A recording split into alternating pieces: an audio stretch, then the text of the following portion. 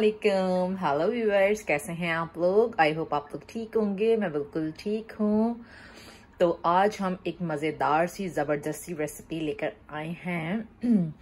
आज हम बनाने के लिए जा रहे हैं बॉम्बे बिरयानी। बहुत मज़े से बनाएँगे। ये बिल्कुल मेरे स्टाइल से बनाएँगे। तो चले, अपनी रेसिपी स्टार्ट करते हैं। लेकिन रेसिपी शुरू करने से पहले, अगर आप लोग मेरे चैनल पर न्यू हैं तो काइंडली मेरे चैनल को लाइक करें सब्सक्राइब करें कमेंट करें और बेल नोटिफिकेशन को ज़रूर ऑन कर दें ताकि मेरी आने वाली वीडियो का हर नोटिफिकेशन आप लोगों को पहले से मिल जाए। ठीक है? तो चले हम स्टार्ट करते हैं। सबसे पहले हमने अपना एक पैन रख दिया है। स्टोव ऑन कर चूल्हा अपना ऑन कर दिया है। इसके अंदर हम वन कप ऑयल डालेंगे। आप लोगों को अगर ऑयल ज़्यादा यूज़ करना हो तो सब टू यू कर सकते हैं। इसमें हमने एक कप ऑयल डाल दिया। ये मेरे पास तीन बड़ी प्याज हैं। उसको हमने इस तरीके से काट लिया है। बिरयानी की के जिस तरह कटती है प्याज। तो ये सारी हम प्याज जो हैं, वो अपने पैन में डाल देंगे। अच्छा मैं यहाँ पर आप लोगों को एक बात और ऐड करती चलूँ। ये हम बना रहे हैं बम्बे बिरयानी बीफ से। तो बीफ में इसमें पोटैटो ज़रूर डलता है, यानी कि आलू। तो लेकिन चिकन में ज़्यादा अच्छा लगता है। बीफ में इतना पोटैटो अच्छा नहीं लगता। तो अगर आप लोग फिर भी डालना चाहें तो डाल सकते हैं, लेकिन मैं नहीं डालूँगी। ठीक है? तो अभी हमें क्या करना है? हमें अपनी अनियन को, ये अभी ठंडा ठंडा हो रहा है, प्याज गई है तो अभी हमें अपनी अनियन को अच्छे से फ्राई करना है और जब ये अच्छे से गोल्डन ब्राउन हो जाएगी तो हम इसको आगे करेंगे। पहले हमें अच्छे से इसको फ्राई करना है। ये देखें, हमारी कितनी ज़बरदस्ती, जो प्याज है वो गोल्डन ब्राउन हो चुकी है।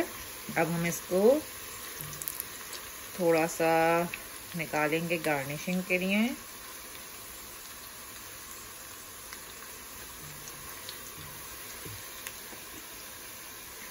और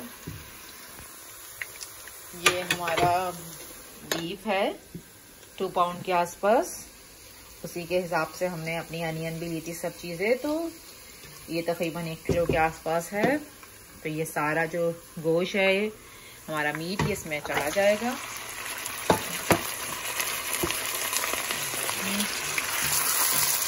इसको हमें अच्छे से भूनना है फ्राई करना है, अपनी प्याज के साथ।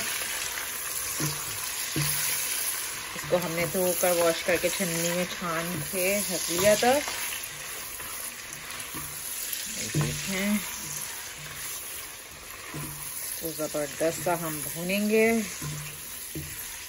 ताकि इसका जितना पानी है वो सब ड्राई हो जाए। अब गरम गरम ऑयल में ठंडा ठंडा मीट गया है उसके थोड़ा सा टेम्परेचर तो डाउन हो जाता है। थोड़ा सा नहीं, थोड़ा सा ज़्यादा ही हमें फ्लेम को हाई ही रखना है।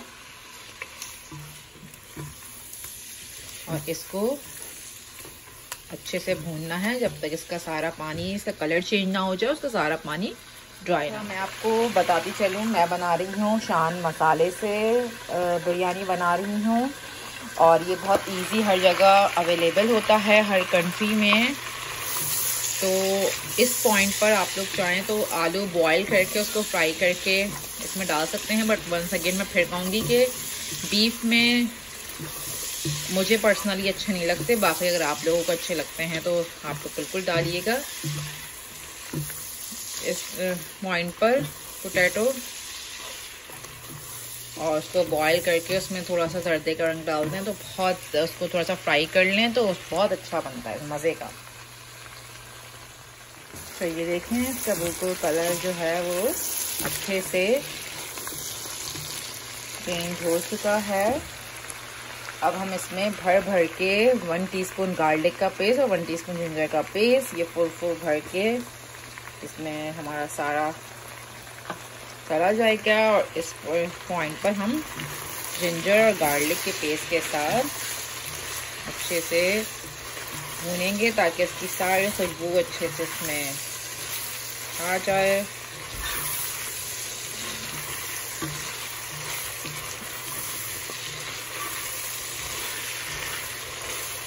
देखें।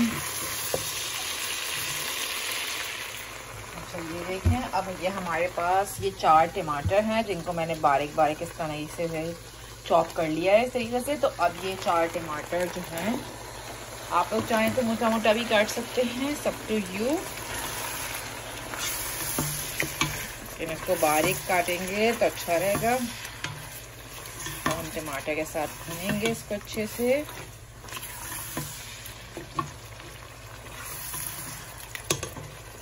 इस पॉइंट पे जो हमारा सारा मसाला है, शान मसाला।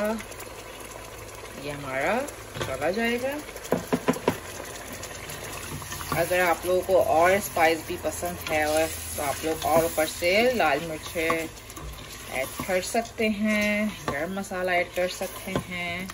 It's up to you but I think enough इतनी ही स्पाइस बहुत होती हैं, क्योंकि इसमें बिल्कुल सही स्पाइस होते हैं।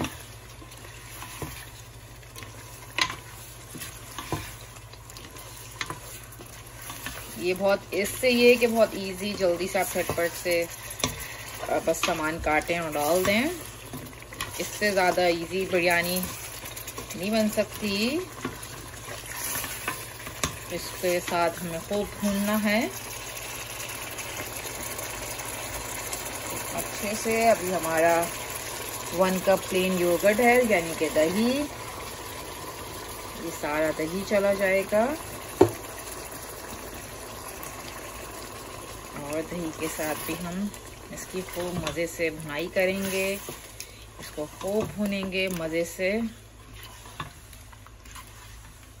ताकि सब टमाटर, दही, मसाले गोश्त सब एक एक दूसरे से मिक्स हो जाए मज़े से।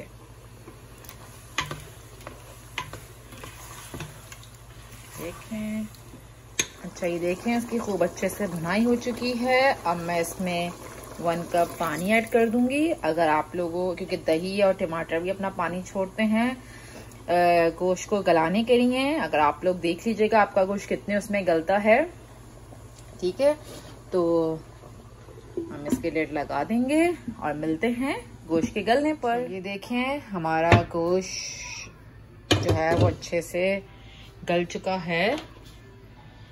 और ये देखें ज़बरदस्त। सा मैंने अपना राइस का जो पानी है, उसको बॉईल करने के लिए रख दिया है यहाँ पर। और इसके अंदर जो चीज़ें डलेंगी देखें जो हम चावल के लिए डालेंगे, ये मेरे पास थ्री टेबल स्पून सॉल्ट है। गोल वाली काली मिर्च मिर्च है आठ दस, लौंगे हैं पाँच छः, बड़ी वाली जो है वो इलायची है वन टेबल स्पून ज़ीरा है सिनेमन स्टिक है और बेलीफ है। सारा का सारा हम अपने ये बॉयल होने वाला पानी में डाल देंगे। और ये मेरे पास चार हरी मिर्चें हैं और वन हैंड हर धनिया है। ये भी हमारा पानी में चला जाएगा। और मेरे बासमती जो राइस हैं, वो मैंने दो कप लिए थे और उसको भिगो दिया है। जैसे ही पानी बॉयल होगा तो हम वो सारे इसमें डालेंगे। अच्छा ये देखें, हमारे ये चावल अब हमने ड्रेन कर लिए हैं बॉयल हो गए थे टेन मिनट्स हमने बॉयल करे थे, इसको ड्रेन कर लिया, अब हम इसको जो है वो तय लगाएँगे। आप लोगों ने मेरी पहले भी तय लगाने वाली रेसिपी और भी मैंने बहुत सारी बिरयानी बनाई है उसमें सबने तय लगाने वाली देखी भी है तो वो भी ज़रूर देखिए क्या, वो भी बड़े मज़े की है। तो ये देखें, पहले हम अच्छे से खासे इसमें चावल इस तरीके से डाल देंगे। उसी पतीली में जिसमें हमने चावल को बॉईल किया था। और उसके बाद जो हमने गोश्त बनाया है, गोश्त का मसाला हमने करीबी करके रखे हैं ताकि वो हो। ठीक है? तो ये देखें। ये हम सारा इसके अंदर चारों तरफ़ फैलाकर सॉरी इस तरीके से हम डाल देंगे। ऑयल भी लेंगे अच्छा खासा सा ऑयल और इसी तरह करके हम अपनी दो तय, तीन तय जितनी भी लगेंगी, वो इसमें लगा देंगे, ठीक है जी? ओके फिर अब हम चावल ऐड करेंगे और इसी तरीके से सेम प्रोसेस अच्छा ये देखिए, हमने सारा चावल डाल दिए हैं। सब हमारा दम रेडी है। आई I मीन mean के हमने लगाने के लिए, हम थोड़ी सी जो प्याज हमने शुरू में निकाली थी हम थोड़ी सी प्याज डाल देंगे।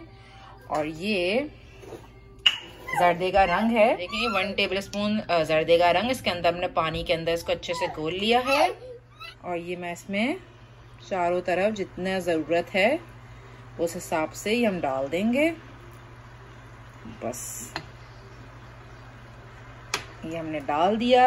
चूल्हा रेडी है इसको कवर करेंगे।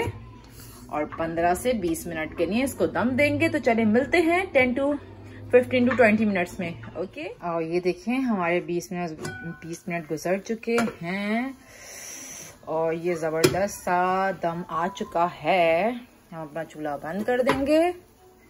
और इसको हम अच्छा सा मिक्स करके डिश आउट करते हैं। ज़बरदस्त खुशबुएँ आ रही हैं।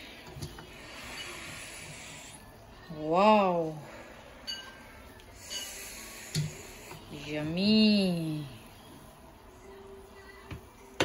ये देखें, हमने ये अपनी डिश आउट कर ली है, ये रेडी है आई होप आप लोगों को अच्छी लगी होगी। तो चलें, इसको ज़रूर ट्राई करिएगा और मुझे कमेंट करके ज़रूर बताइएगा। चलें, चलती हूँ दुआ में याद रखिएगा। इंशाल्लाह मिलते हैं नेक्स्ट रेसिपी में। ओके अल्लाह हाफिज़।